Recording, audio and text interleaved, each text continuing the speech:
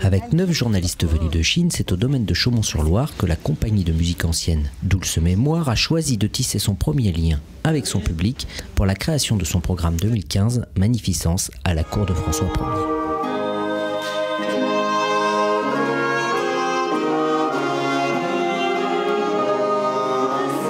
conférence de presse sous des regards venus d'Asie donc, et en musique, parce qu'à Dulce, c'est comme ça qu'on sait le mieux partager.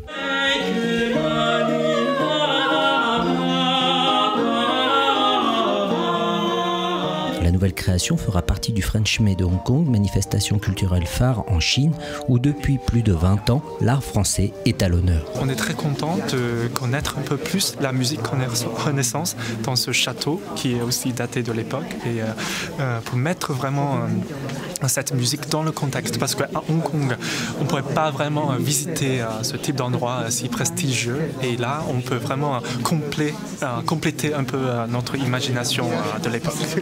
is very funny because it's, it's much beginning. It's really the costume is not a rich costume. It's not a, an aristocratic costume.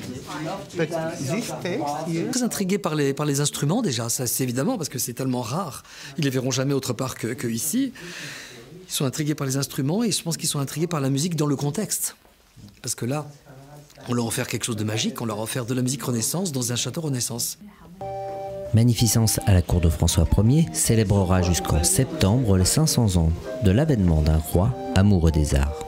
De nombreux rendez-vous à ne pas manquer dans d'illustres lieux du centre Val de Loire.